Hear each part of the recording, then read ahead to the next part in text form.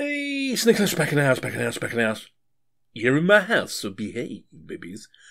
Okay, this video is why do you use Ubuntu, or specifically, why I use XFCE. Well, going back in the day, when I first went Linux full time, it was old school Ubuntu. So we're going back a little, a very long time ago. Okay, very long time ago. Before GNOME, before Unity, it was old school. It was really old school.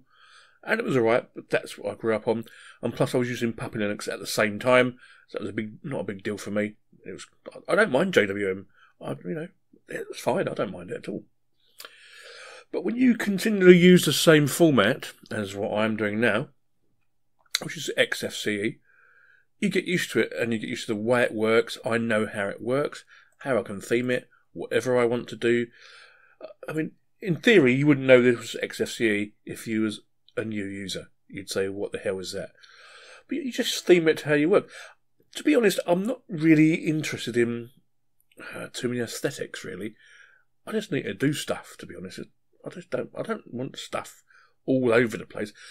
Yes, I've got all these additions over here, but because I do a lot of stuff for printing and projects and videos, they're just handy to have on a desktop for me. Maybe not for you, but they are for me, okay? And these are the main apps I use. So, you know, so if I go down the first batch, Firefox, I still use Firefox. I like Firefox. Firefox is a lot better than some other stuff, okay? But not for everything.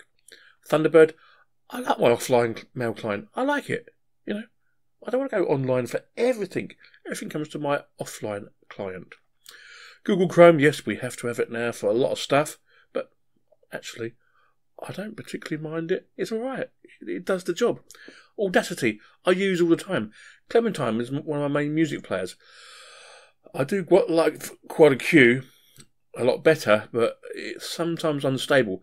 But a lot of my music is in here. I've got uh, ooh, a lot of music in this computer. I think we've got about coming up to 100 gig of music just in this one.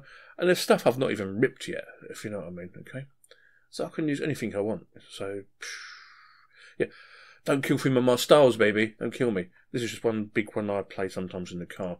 But like, if I just want to play one album, there's J Hus. Don't play it too much no more because he was a naughty boy. There's a little one there that I just picked up one night and I need to do that one, and I can just pick the playlist I want, basically. The Young Pony Club. Some of you may not even know they are. Okay. They're not, yeah, I suppose they're obscure now. The older you get, okay, as I'm going to say, time goes forward but goes slowly and fast at the same time. So I was looking at a video the other day, and I didn't realise it was 11 years old, you know? That's how it goes. I'm rambling anyway.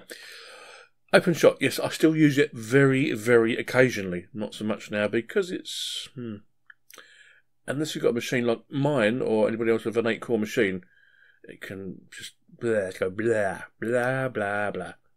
OBS we all use, Kdenlive use, Steam to play my games, of course, Terminal, Simple Screen Recorder, I'm using it now to do stuff with you. I've got the NVIDIA stuff in, on here. Actually, I don't really need that on the screen, do I, really? I could get rid of that one, that wouldn't be a problem. I do still use Spotify, although I do like buying music, which is why I was so pleased when HMV weren't going to go down the pan. Because that's one of my favourite Saturday days out, going to HMV. For my printing, I've got Simplify 3D, and Idea Maker. I've also got Cura, but that's in a different folder. So I've got all my stuff I need. Blender for 3D modelling. All the stuff I need is here. I know where it is, and that's where I want it to be. Okay.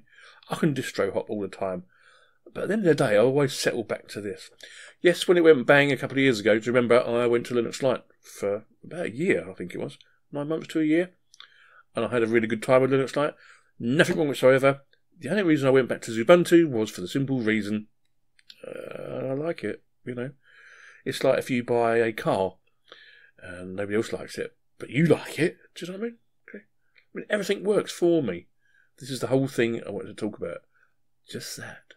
Nothing at all. So I'm grabbing Steam stuff here, like to my library. All my stuff's here that I want to play, you know. Oh, New video for you, Plane Mechanic Simulator. I'll do that tomorrow. Very, very buggy. It's in early release, okay, early access. It plays okay. Don't get me wrong. but it don't want to let go. But yeah, that's another story. Anyway, that is why I use XFCE stroke Xubuntu. Okay, this is 1804. I'll probably stick with it until we go to the next one.